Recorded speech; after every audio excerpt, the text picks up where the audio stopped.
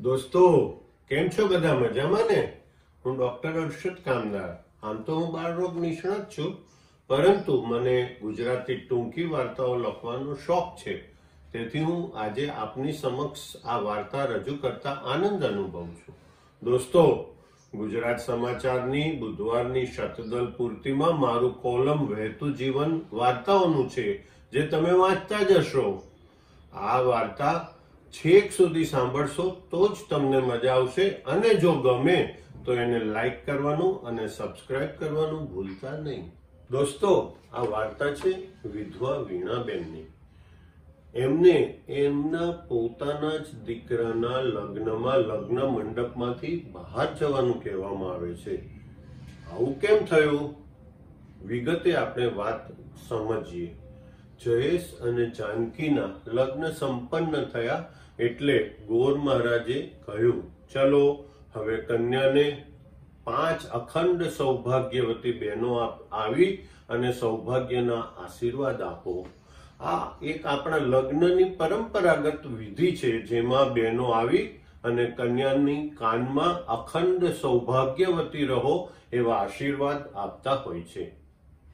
મંડપમાં કન્યા પક્ષના જાજરમાન વડીલ જમના કાકી હાજર હતા.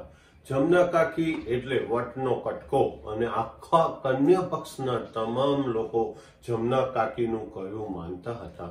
જમના કાકીએ જોયું અને તરત બાજુના બેનને કહ્યું, આ વીણાબેન વિધવા છે, એને બહાર કાઢો, નહીતર આપણી દીકરીનું સૌભાગ્ય નંદવાઈ જશે.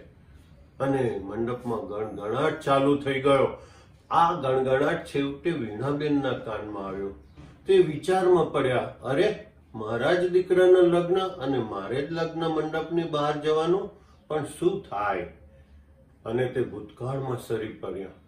વીણાબેન યાદ કરતા કરતા વિચારે ચડ્યા દસ વર્ષ પહેલા અચાનક તેના પતિનું રોડ અકસ્માતમાં મૃત્યુ થયું અને તેઓ વિધવા બની ગયા, શૂનમૂન બની ગયા. એકનો એક દીકરો જયેશ શું કરવું, શું નહીં તેના વિચારમાં તે લોકો શૂન્ય મસ્ત બનીને બેસી રહ્યા. પછી એમણે હિંમત કરી, પેટે પાટા બાંધી મહેનત કરી, જયેશને ભણાવવાનું નક્કી કર્યું. એમબીએ સુધી ભણાવી જયેશને એક મોટી કંપનીમાં ઓફિસર બનાવી દીધો. અને પછી તો તેના ઘેર કન્યાવાળાઓના લગ્ન માટેની લાઈન લાગી.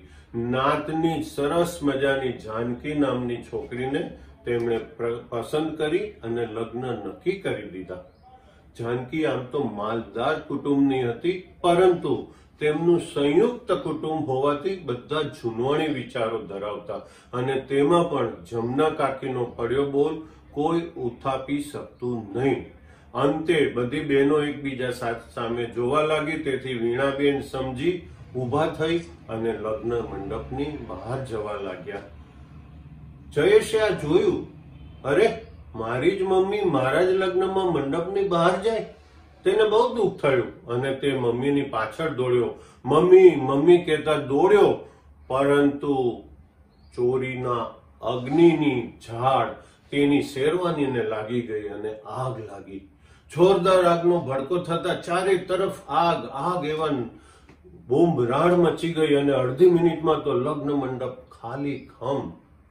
બધા ભાગવા માંડ્યા, પરંતુ દૂરથી રહે રહે વીણાબેને આ જોયું. માનો જીવ કેમ કરીને ઝાલ્યો રહે? તરત જ તે પાછા દોડ્યા અને જયેશની આગ હાથથી ઓલવવા માંડ્યા. પરંતુ હાથથી ઓલવવાને લીધે તેના હાથનું ચામડું માંસ અને હાડકા શેકાઈ ગયા. છતાં પણ તે રોકાયા નહીં. દૂરથી જમના કાકીએ બૂમ પાડી. વીણાબેન, ભાગો, તમે પોતે જ સળગી જશો. પરંતુ ના, માનો જીવ. એમ કઈ ઝાલ્યો રહે? એટલે તો આપણી ગુજરાતીમાં કહેવત છે મા તે માં, બાકી બીજા વગડાના વા. હાથ શેકાઈ ગયા. છતાં પણ તેમણે આગ ઓલવવાનું બંધ ના કર્યું. છેવટે અચાનક તેની નજરમાં એક ચાદર ચડી ગઈ અને તેમણે ચાદર તરત જયેશને લપેટી દીધી. અંદર ઓક્સિજન ન મળવાથી આગ તરત જ ઓલવાઈ ગઈ. અને વીણાબેન બચી તો ગયા, પણ હાથ શેકાઈ ગયા હોવાથી તરત પડી ગયા.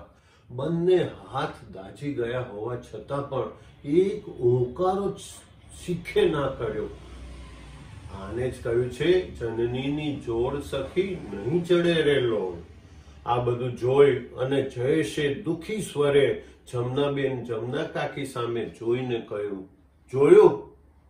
જેને લીધે જાનકીનું સૌભાગ્ય નંદવાઈ જશે તેવું આપ કહેતા હતા. એને લીધે જ આજે તેનું સૌભાગ્ય બચી ગયું.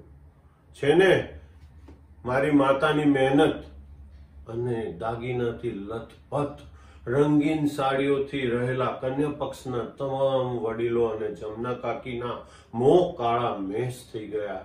સફેદ સાડીવાળા પડી ગયેલા વીણાબેનના ચહેરા પર તેજ ચમકી રહ્યું હતું અને જયેશે તરત જ એમ્બ્યુલન્સ બોલાવી અને વીણાબેનને સારવાર માટે દાખલ કરાવી દીધા. મિત્રો, જોયું? હજુ પણ આપણે સમાજમાં વિદ્વાનની હાજરી અપશુકન કરાવે તેવા જે ખોટા રિવાજો અને ખોટી માન્યતાઓ છે તે તમને દૂર કરવા જેવી લાગે છે ને? અને બીજું માતા પોતાના સંતાનોને જરા પણ દુઃખમાં જુએ કે તરત જ પોતાના જીવના જોખમે પણ બચાવવા દોડી આવે છે. આ વાત તમને આ વાર્તા ઉપરથી સાચી લાગશે. મિત્રો, સત્ય બનેલી આ ઘટના જો તમને ગમે તો ચોક્કસપણે તેને લાઈક કરજો અને મારી ચેનલ સબસ્ક્રાઈબ કરવાનું ભૂલતા નહીં.